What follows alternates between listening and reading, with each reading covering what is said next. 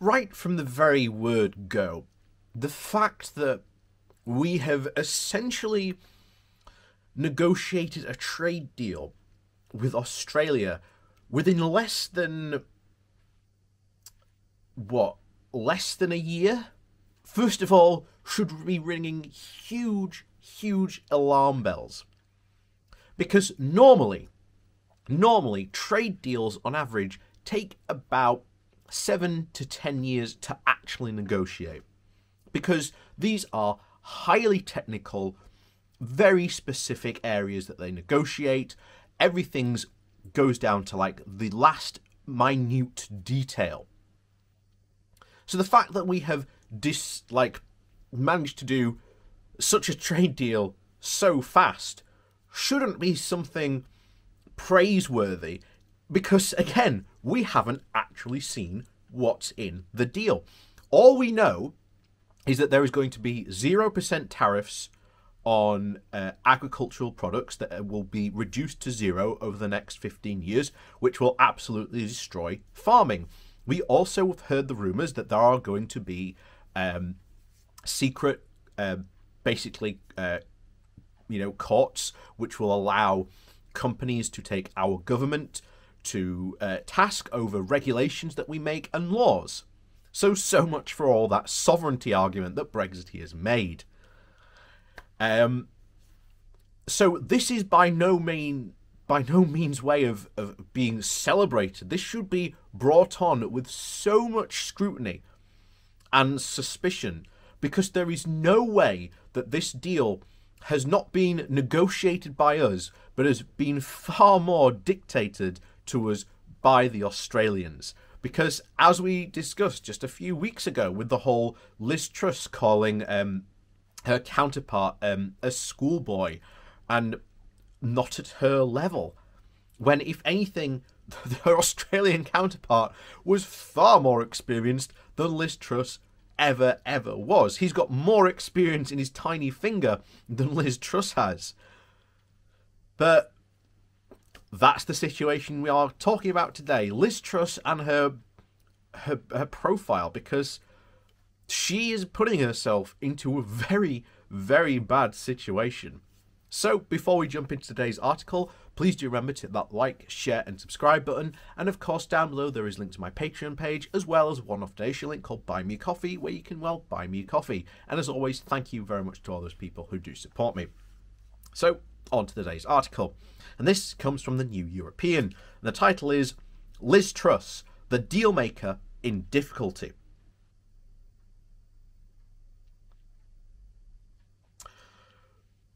So, Liz Truss is the greatest, is the great cabinet survivor, and the darling currently of the Tory members.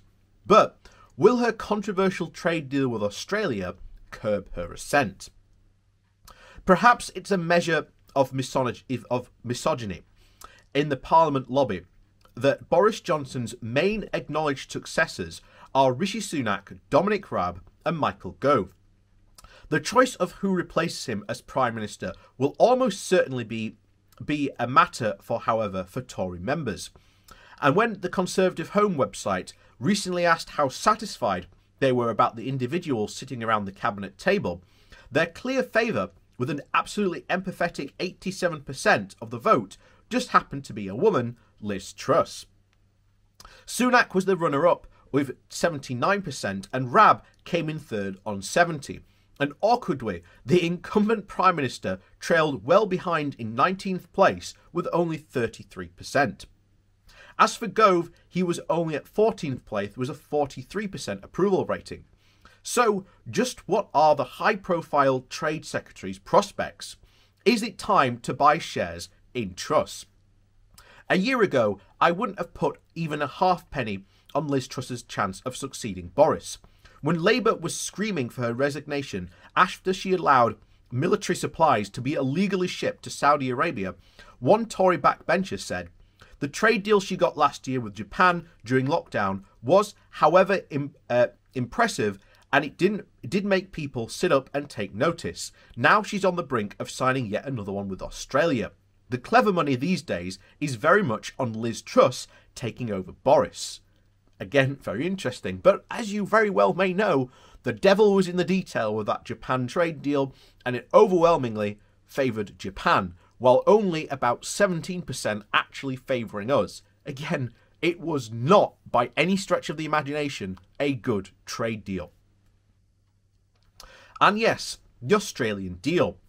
As was earlier with the trade deal secured by Liz Truss, there was the initial fanfare of hailing another victory for global Britain.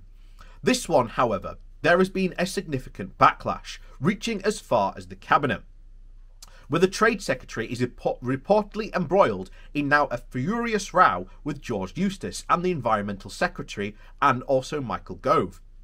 The controversy over Truss's uh, deferration to grant tariff free access to the UK market to Australian farmers, as British farmers fear a sharp rise in cheaply produced Australian beef, lamb, and sugar on British supermarket shelves, putting domestic producers under pressure. There were also warnings about animal welfare standards and environmental implications of sheep and beef farmers in parts of Scotland and Wales are thought to be the most at risk. Truss seems to be in absolutely no mood for compromise, though.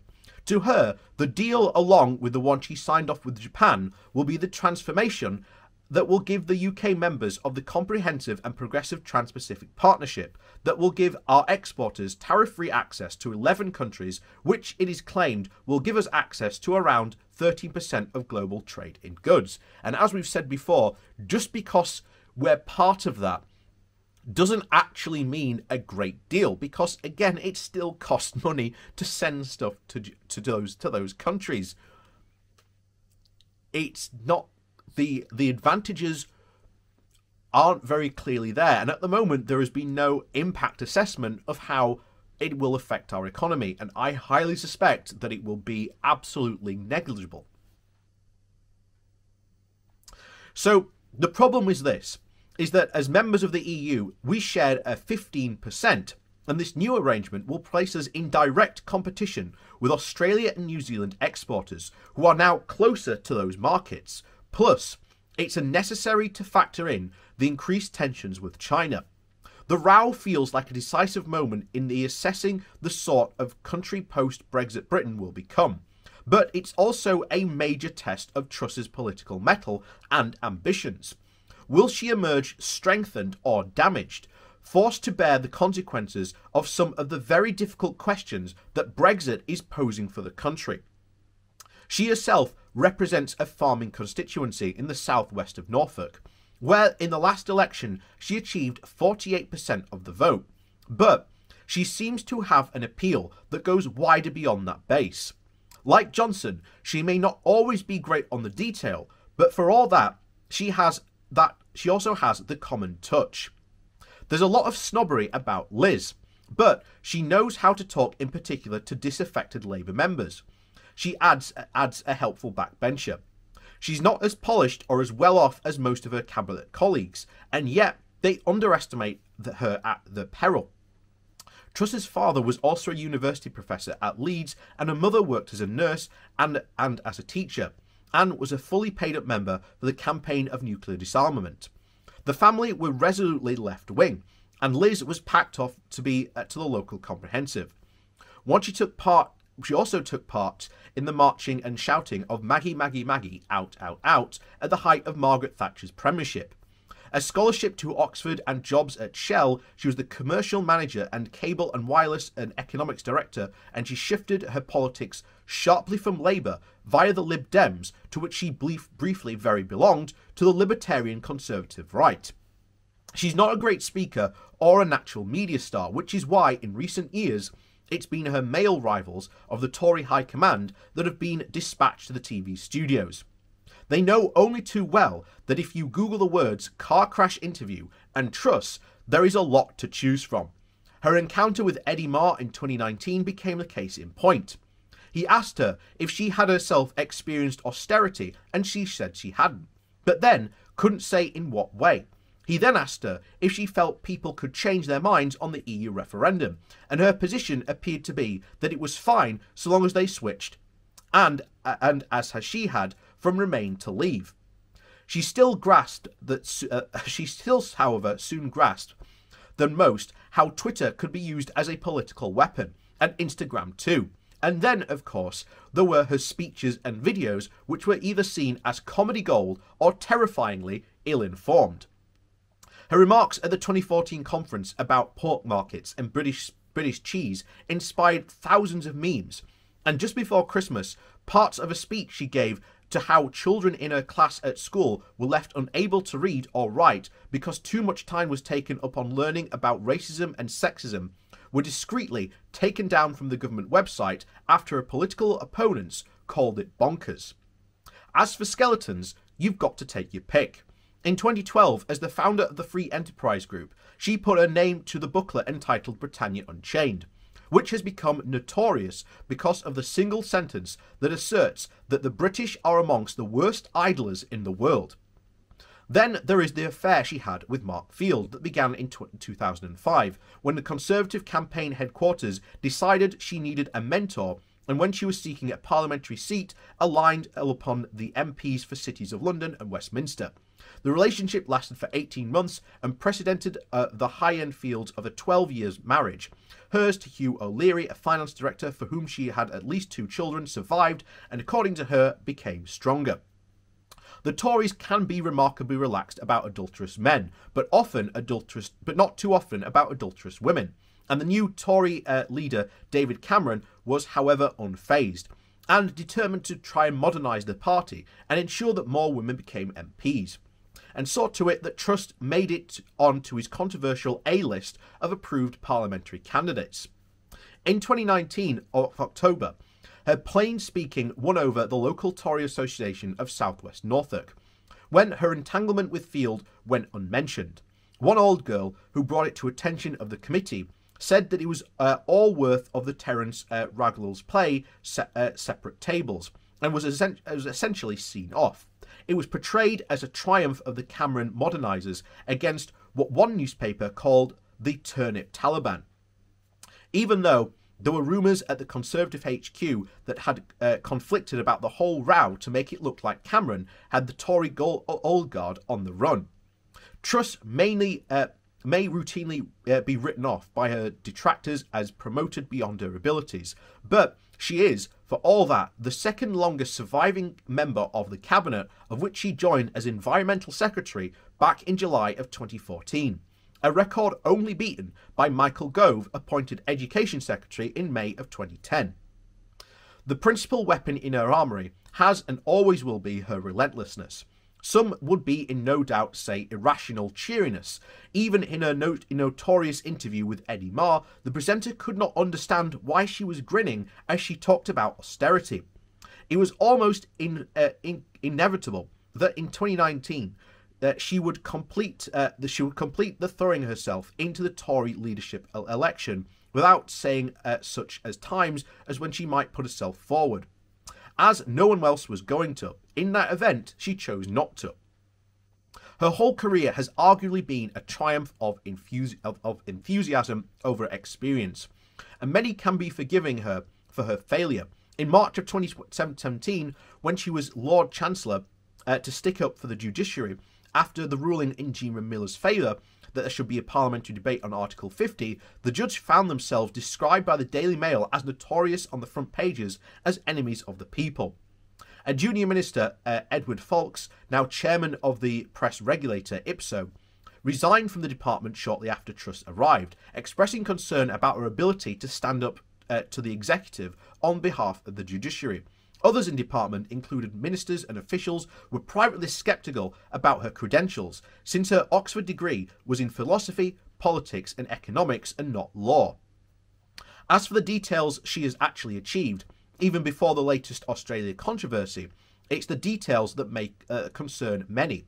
Labour has accused her of making catastrophic blunders because manufacturers based in free ports look uh, looks looks as as they stand as they will be effectively be able to access key markets on the deals that she has signed off on. No fewer than 23 countries the UK has signed agreements with will be affected because, say Labour, Truss has failed to remove the wide ranging dual exemption prohibitions, which state businesses are not allowed to have paid import duties or not permitted to benefit from reduced tariffs on exports. Even on the vaunted Japan deal, there were many criticisms that appeared to be massively benefit the Japanese exporters when compared with the much lower increase to UK exports to Japan. Daniel, now Lord Hannan, is predictably giving Truss covering fire, writing recently that many of those moaning about her deals are embittered Remainers, Jacobites who can't let go. And then ever cheerful Truss has herself assured everyone that, that her Australian deal will be great. There's talk of an imminent promotion for her in Johnson's cabinet, and her colleagues, including no doubt the Prime Minister himself, are, tre- are treading around her very, very warily. Prime Minister uh, Truss is not uh, assured beyond the bounds of possibility. But what would she actually do if she seized the crown? A passionate Labour supporter who metam- metamorphosized now into a passionate Conservative. A Cameroon who now stands with Johnson's Praetorian Guard. A Remainer who became a Leaver. Truss would ultimately seem to believe in nothing except perhaps herself. And I think that's really ultimately the best you could probably say about Liz Truss. Um, I do think ultimately there it's quite surprising that you know Conservative Home put her suddenly in the running for these types of things. But again, it's not beyond the realms of possibility.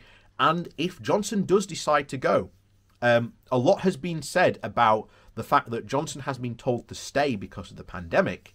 After the pandemic, and Johnson decides that he's had enough, because we know he's not enjoying the job.